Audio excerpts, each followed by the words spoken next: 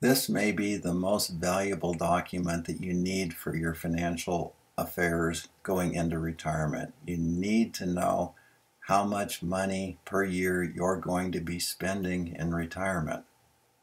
So many people don't know this. Your financial planner, if you have one, should go over this with you. And you can construct it through Mint, uh, Quicken, uh, anything that you wish to figure out what your expenses may be in retirement. To just use a target figure of saying, oh, you're going to need 70% of what your income was pre retirement, 100%, whatever, does not make sense. Those in private practice and that, and that have their own businesses, often the amounts are quite a bit less in retirement than they were pre retirement. So let's go through this. What I do in my classes is I actually have each attendee, and I like to have couples work on this, come up with a projected retirement spending form. We have a certain number of columns here uh, of entities that we go through one by one, and I actually give you uh, a synopsis of what that includes, and I'll do that here. Then we uh, actually at the end can multiply by 12 and add some uh, tax into it. This can be used to figure out how much you're going to need in total in retirement for savings and how much you may need to save per year to get to that total. This can also be entered into a Monte Carlo scenario such as financial engines, uh, which I use a lot and come up with different scenarios and different ways to tweak. So let's go through this one by one. These numbers these figures are taken from interviews of early retiree dentists. Also, this is cross-checked with Bureau of Labor Statistics. Uh, the latest that I could find is 2014. It's upgraded by inflation each year a bit.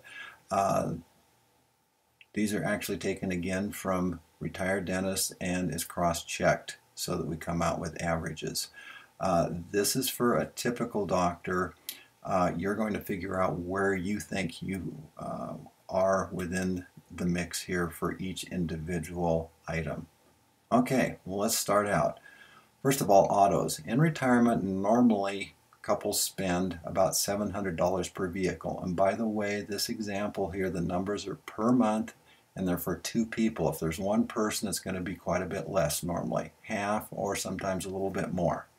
So the average that you spend per vehicle is about $700. That includes depreciation, fuel, insurance, service, everything. That assumes that you buy new every five years. If you buy a luxury car, it's going to be more. It's closer to 2,000 or $1,000 per vehicle per month. Sometimes it's even more than that.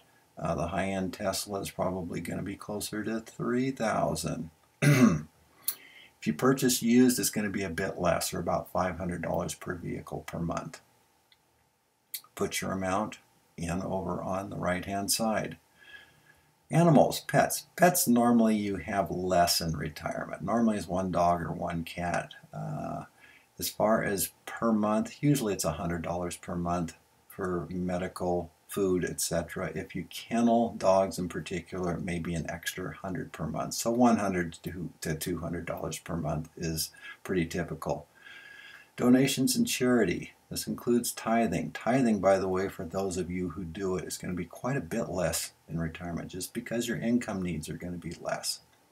Uh, average is about $3,500 per year for a typical doctor couple. Uh, that's $300 per month. Clothing. Clothing is normally quite a bit less in retirement. Uh, I know couples that spend $3,000 a month for their family for clothes. Uh, this is 300. Often it's a lot less for two people. You don't need to impress as much, obviously. Uh, computer high-tech home theater, that's a, just a tech number. Put in $100 per month. Typically we see that over the years people are spending more on technology. So that's just a catch-all. Hobbies in retirement. Well, I'm on a budget of $4,000 a year, which is about $350,000 a month for my skiing and biking habits, and that's hard to keep. Uh, So my wife and I are probably going to be closer to $500 a month just because I'm pretty active and she probably will be too. Uh, some couples at zero or close to it. So it varies all over the place. Just put the number that you feel is most appropriate. Entertainment. Okay, dining out, uh, once a week dining out at a fairly decent restaurant adds up to about $400 per month. Now, a lot of us, especially in early retirement, are going to spend double that. I put 600 if you eat out twice a week, once at a nice place, once at a semi-nice place. It could be $1,000 a month without too much trouble. I do know of couples pre-retirement when they're both working where they're spending $2,000 a month or more on dining out. So it could be a lot more, but in retirement it tends to be less. Okay, sports, concerts, theater, museums, $400 a month is pretty typical, or about $100 a week in retirement. Again, these are monthly figures. This is for a married couple, two people, whether they're married or not, obviously. Gifts. Gifts are all over the place too. This is $5,000 a year for a typical couple with some grandkids. Grandkids get all the dough. I already know that. Uh, it could be higher than that, it could be lower. Best guess for most people is about $5,000 a year. Groceries. Groceries are about 150 a week or so. This may be a little bit high. Groceries actually have not gone up much in the last several years. It could be $500 a month, but I put in 600. Anything I do here is basically gauged to be more conservative or a worst case scenario, not a best case scenario. 600 a month for groceries. If you go to Whole Foods or premium uh, premium grocery store, it may be $1,000 a month. Property taxes and homeowners fees. Fees are uh, association fees, but property taxes is the main issue here. Those, especially on East and West Coast, can be quite a bit higher than 600 a month. That's 7,200 a year. Some people are going to pay 15,000 fairly easily per year for property taxes. So beware of that. Put in the proper number. Household expenses, cleaning, maintenance, insurance, and home improvements. Home improvements are a big problem with doctors while they're working, not so much in retirement as, as high. But this is $10,000 a year for cleaning, maintenance, insurance, and home improvements. Some doctors spend up to $50,000 a year. They do a lot of renovations. So in retirement, it should be less, but this is at the $10,000 per year mark. If you spend more than that, put it down. Hygiene haircuts, nails, mani-pedis, facials tends to be more these days than it was even 10 years ago. People are pampering themselves more. I think that's good. So it may be 200 or $300 a month. Legal, again, this is a catch-all. This is mainly estate planning. You're going to spend a thousand bucks once every five years or so. So $75 a month or $1,000 a year is fairly appropriate. Medical, Okay, Medicare is not going to cost you $1,500 a month. My wife and I are paying about $1,000 a month though. Medicare itself is closer to 500, but there's out-of-pocket expenses for prescriptions and other things too. So really it's about $1,000 a month. $500 a month goes towards long-term care. That's a whole different subject as to whether you should buy insurance or self-fund. Books and subscriptions probably closer, closer to $100 a month with Kindle and the electronic devices that we have now. Utilities. This is fairly, fairly typical, $700 a month. That comes out to $8,500, $8,400 a year is pretty typical for utilities. Now, if you live in an area like the Southwest where air conditioning or Texas uh, Florida in the south, which is really important and very expensive. It could be quite a bit higher than that. Also, say in the northeast where winter heating is more expensive, it may be higher. Extra cash, that's walking around cash that you don't have to account for for anybody.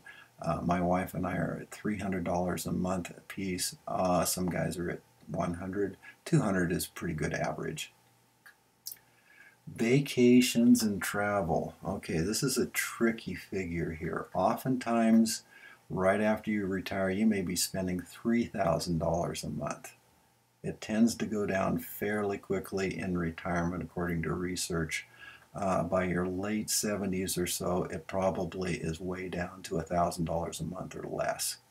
So you can use a higher figure, but later on in retirement, you're going to spend quite a bit less. A thousand is a fairly typical figure for 20 years or so into retirement.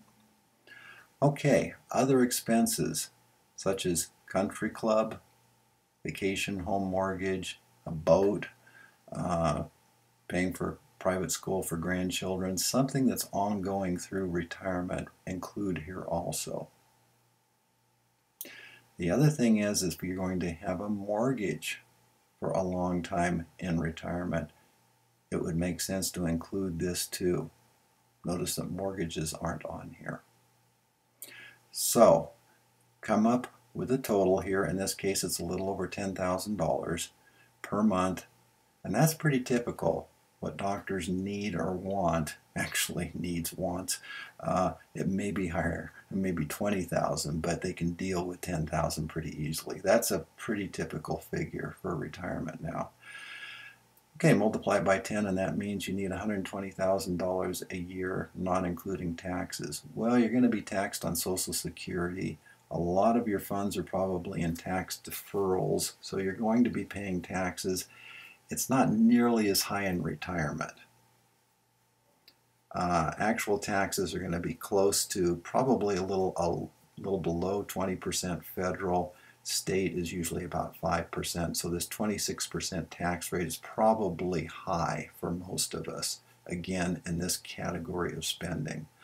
Um, but I'm, I'm using that. So it's an inverse function, so the multiplier is 1.35 per 26% tax that multiplied by your year your uh, yearly amount gives you the actual figure pre-tax that you may need in retirement. In this case, it's around $160,000.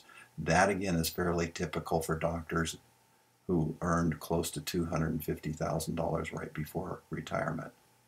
Thanks so much for listening in.